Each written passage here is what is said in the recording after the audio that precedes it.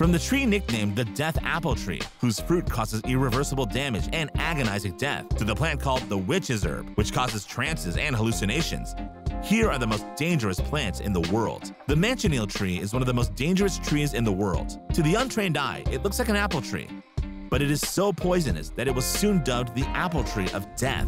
Common near beaches in tropical regions, this tree is usually marked with red marks on the bark to dissuade walkers from approaching it.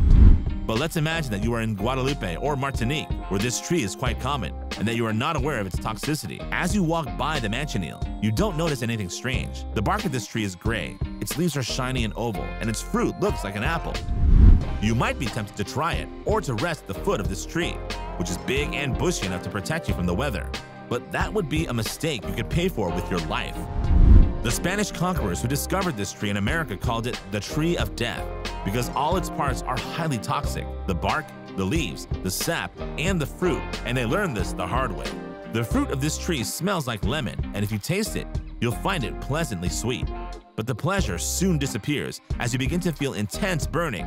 Your reflex will be to spit out the piece of this terrible apple. But it's too late. Your throat tightens, your tongue becomes swollen, and you are prey to excessive watering. Not only that, but your hand, which touched the fruit, is covered with purpuric stains you are suffering from a hemorrhage lesion of the skin. If you are lucky, the symptoms of intense burning in the throat will disappear about 8 hours later, as was the case for Nicola Strickland, who described this experience. If you are unlucky, you develop pharyngeal edema, which can be fatal, and your blood pressure drops dramatically. It is important to know that the sap of this tree was used by the Native Americans to defend themselves from invaders. They soaked their weapons and arrows with it to cause more damage to their enemies. The toxicity of manchineel has been known for a very long time. Today, intoxications are not very frequent because these trees are generally marked with red crosses to warn of their danger. In the northeast of Australia, the shrub we are going to talk about inspires a real terror. The Gympie Gympie, the most dangerous stinging plant species in the world. To get a good idea of the degree of toxicity of this plant, let's put ourselves in the shoes of Marina Hurley, who is now an Australian ecologist. When she was studying at a university in Queensland, Australia, she decided to research the herbivores that feed on stinging trees. So she went to the clearings, along streams and small roads, where these species of trees are usually found. Of course, she took some precautions, wearing a protective mask and welder's gloves. But when she came into contact with the Gympie Gympie, she soon realized that these safety measures were not enough. Marina had sneezing and running nose for several hours. It was not pleasant at all, but she feared much worse, as she had heard frightening reports about the toxic effects of Gympie Gympie. For the young student, this was just the beginning of her troubles. Her pain had intensified over the hours to the point of being unbearable. Marina said later that it was like being burned with hot acid and being electrocuted at the same time. The stings that formed on her skin required hospitalization and treatment with steroids. The case of Marina Hurley became quite well known. In fact, there are many accounts of the effects of Gympie Gympie, and the unfortunate victims report a crushing sensation in the chest, unbearable corrosive burns that last up to two weeks.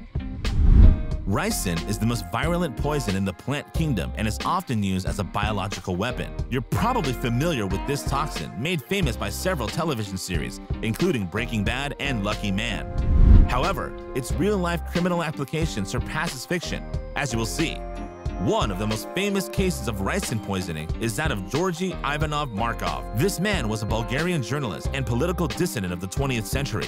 Opposed to the communist regime of his country, he was the target of the KGB, which is the main intelligence service of the USSR.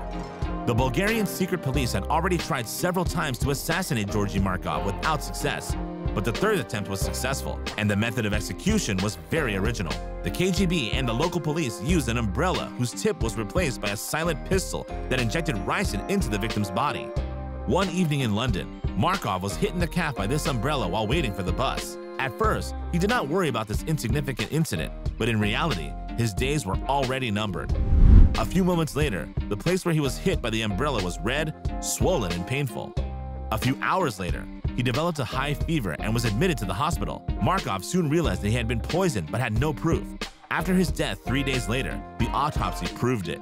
The forensic doctors found a tiny spherical projectile containing ricin in his leg. This substance had passed into the victim's blood vessels, and this is what caused his death. Anyway, he could not have been cured because there is no antidote to this poison. Ricin is so toxic that one decigram can kill a man of more than 100 kilos. Originating from the common castor bean, a tropical shrub, ricin is considered to be 6,000 times more toxic than cyanide.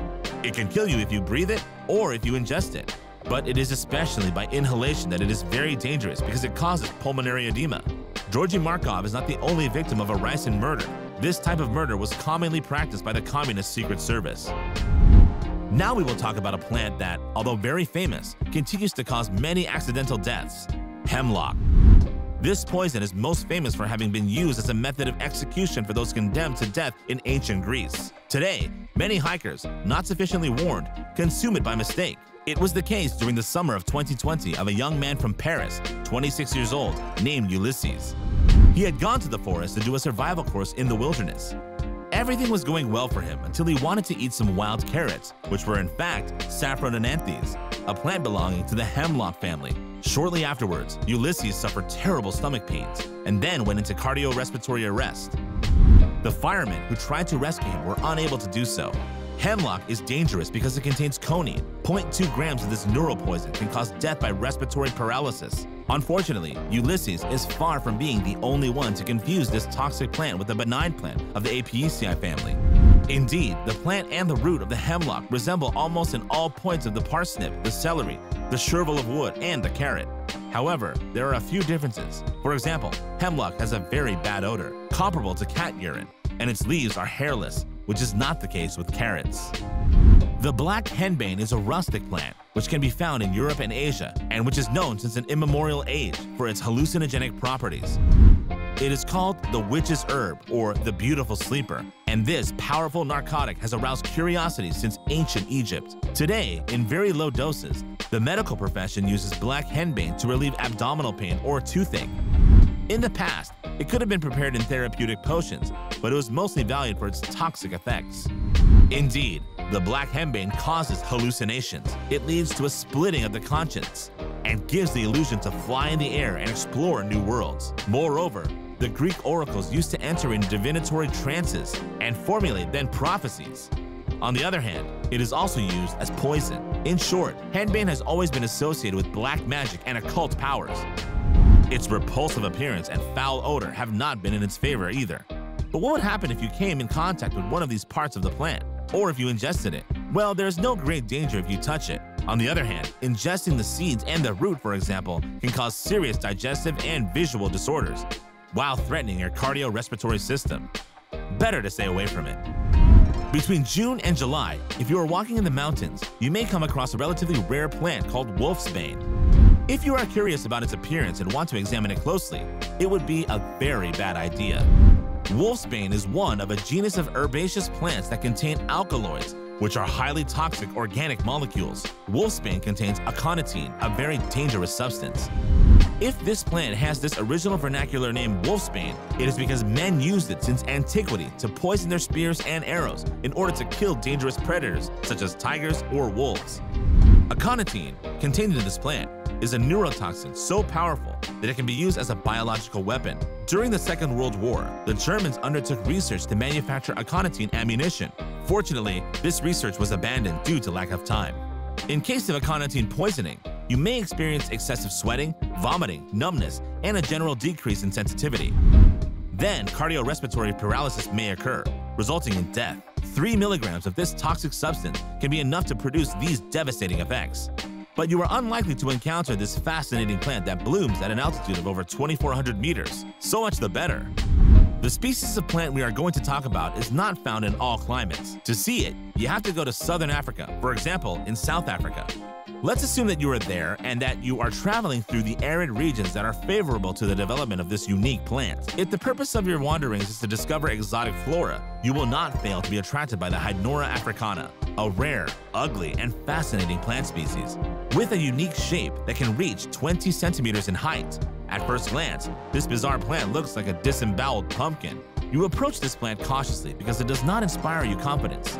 You notice bristly hairs on the opening that look like sharp teeth. However, this plant, from the Hydnoraceae family, is not strictly speaking carnivorous. It should also be added that it does not need light to flourish. Until reproduction, its growth takes place below the ground. Indeed, Hydnora africana feeds on the roots of other plants and is thus part of the class of parasitic plants. So you admire this fantastic plant, and you are waiting impatiently to see what is special about it. If you are patient enough, you might see Hydnora africana closing in on a beetle and somehow swallowing it. This is because this plant is pollinated by insects that crawl into its sepals and remain locked up sometimes for several days. Once released, these insects spread the pollen to other flowers. However, you perceive a detail that bothers you a lot. This plant gives off a disgusting odor, close to that of fecal matter. It is not an illusion. Hydnora africana exhales this stench to attract pollinating insects. Malodorous, parasitic, unsightly, Hydnora africana does not make you want to welcome it in your vegetable garden. Nevertheless, it is valuable for medical research as it can help cure diseases such as dysentery. This is the end of our video, where you can discover the toxic properties of some plants that you will carefully try to avoid. But among all these very dangerous plants, which one scares you the most? As usual, don't hesitate to answer and give your impressions in the comments section. Do you like this video? Then don't forget to put a like, to subscribe to the channel, and to activate the bell in order to not miss anything of our next publications.